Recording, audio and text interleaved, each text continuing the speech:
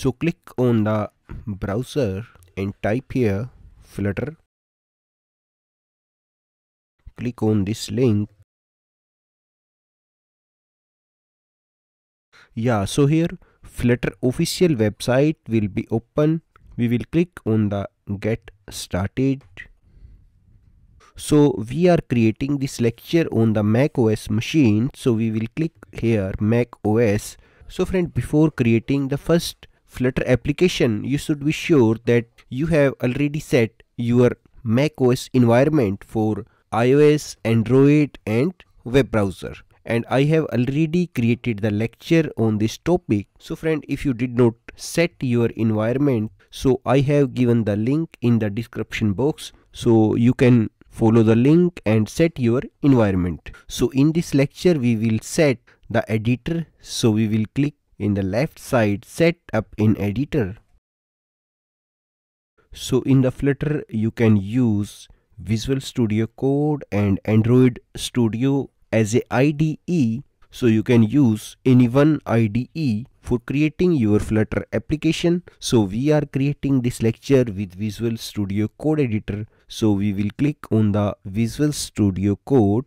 So Visual Studio Code is a code editor to build and debug app. So for this first of all in your system Visual Studio Code should be installed. So we will check here click on the search and check here Visual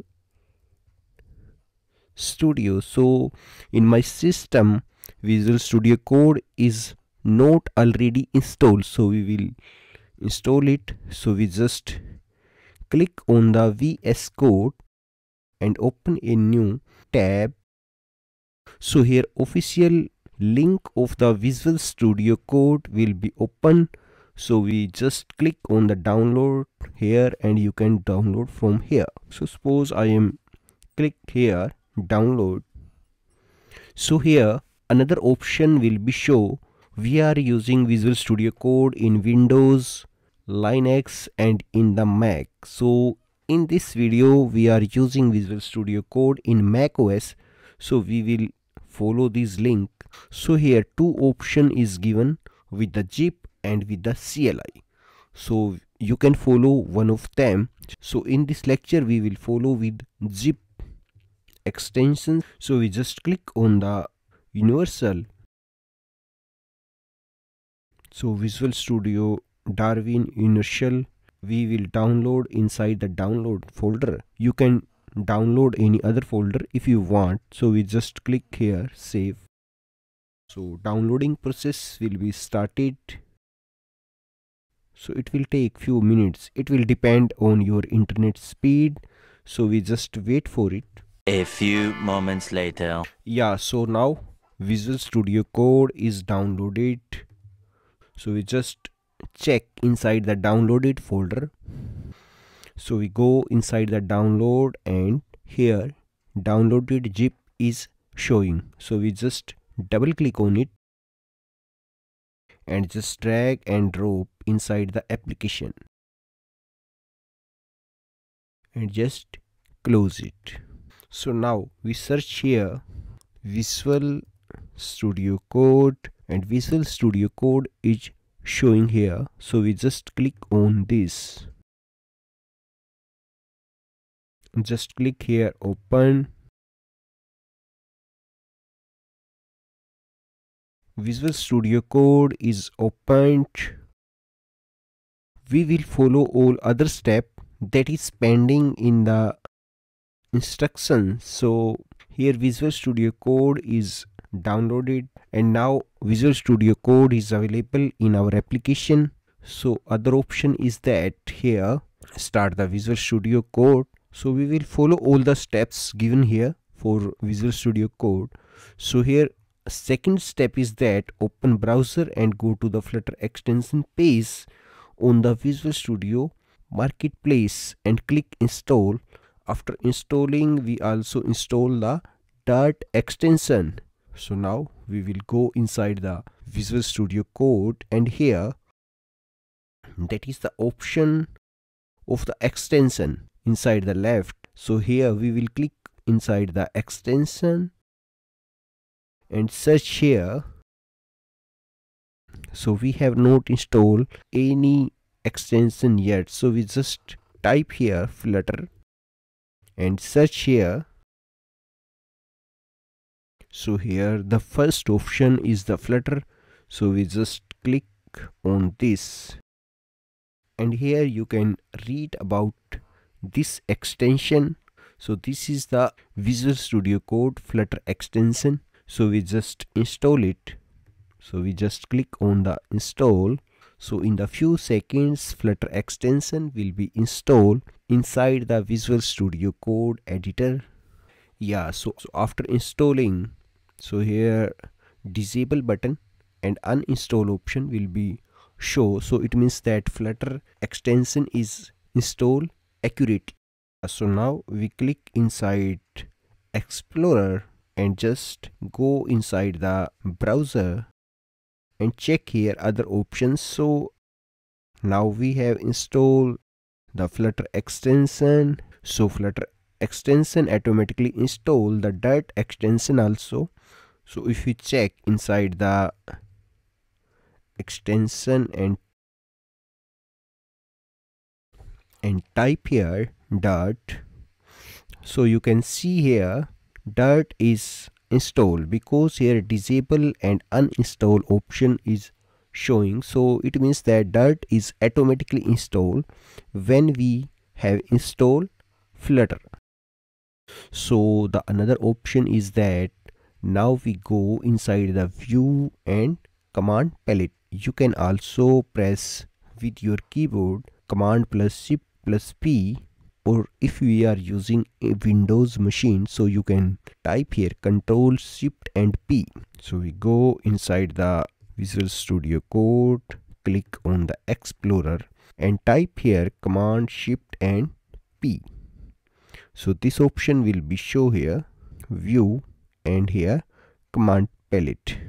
So this option you can open with command shift p or with view. Inside view command palette. So now so we just type here run flutter doctor.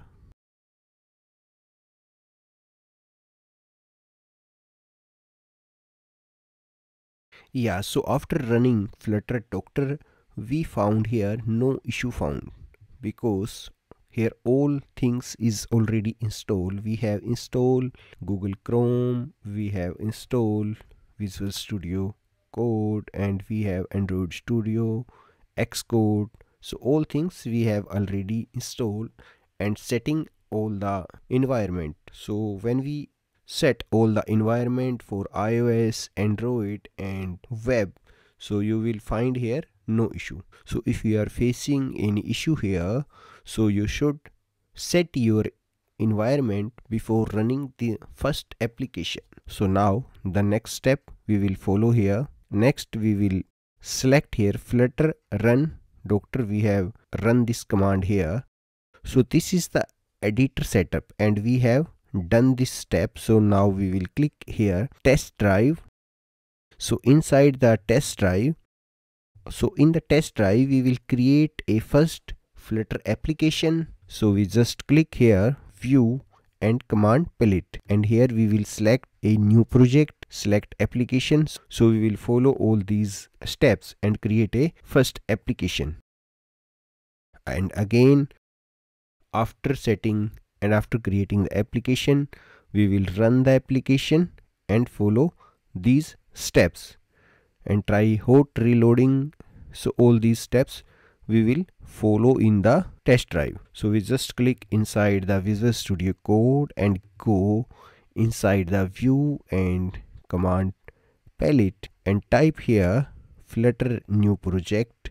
So we just select this. So here different different option is showing. So a flutter application with descriptive comment and test so we can select here application empty application skeleton application module package.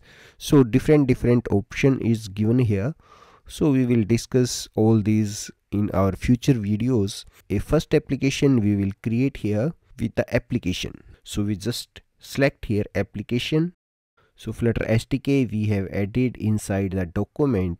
When flutter sdk is here.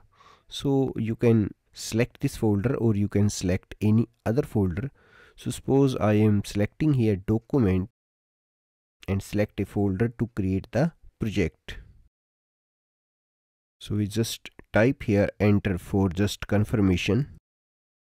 So the flutter first application is created. So this is actually the path of the flutter application. So my flutter application is inside the document and this is the name of the first flutter application. So i am just click trust and trust here. Yeah so here your first flutter application is created now. So by default this file will be open main.dart so actually this is the file is a starting file. So if you have already worked in the react native and other applications. So you know that in the react native like app.js is the first file but here main.dart is the first entry file. So here main.dart is an entry file. So this file will be automatically opened and here you can see android folder for the Android application and here iOS folder for the iOS application and here we can create application for Mac OS itself so this is the Mac OS folder and this is the web folder for the web browser and this is for the Windows folder for the Windows application so all different different folder will be created automatically when we create our first Dart application. So we can run the same code for all the platforms. We just select here, start debugging. We can run our application from here. But before running our application, we can select here any device. So this is the notification. One notification is showing here. So the left side of the notification here, you can see no device is selected. So we just click here and we can select here any device so here different different options is showing for web for desktop for mobile simulator for mobile emulator. So you can select any one of them. So suppose i want to run this application on the mac os so we just select here mac os desktop. So this is the mac os desktop. So we just click this and we just run here. I am selecting here directly you can press here or you can select here and start debugging. So in the few seconds your application will be show and you can see here a stop views all these buttons will be show here. So we can stop our application from here if you want. So this is the first flutter application is running on the mac os itself so this application is for the mac os so actually this message you have pushed the button this many times. So actually this uh, message is showing from the dart main.dart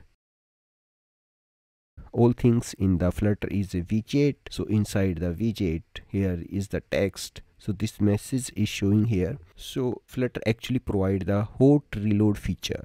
So this is also given here. So this is the process for the running our application. So so try hot reloads so actually hot reload feature provide a fast refreshment feature. So actually hot reload is a fast reload feature. We can check our changes immediately suppose without any reloading.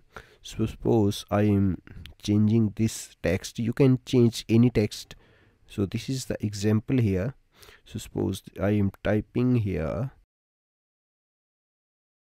and just save this so you can check here.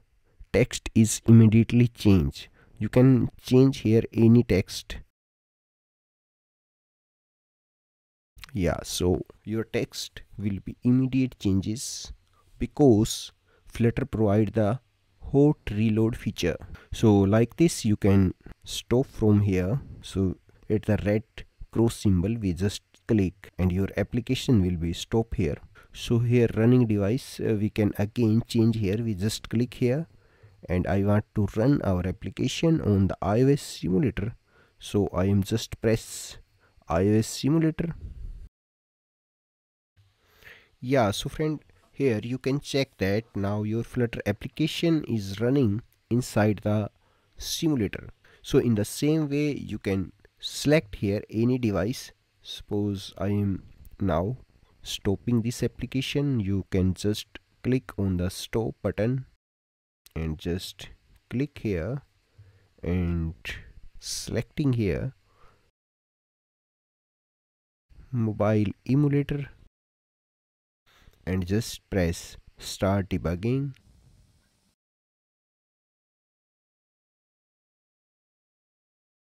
yeah so now application is running on the android device. So we can select here any other device if you want. So you just click here and suppose i want to run this application on the chrome. So i just select here chrome browser and now you can see here chrome web browser is showing and we just start debugging again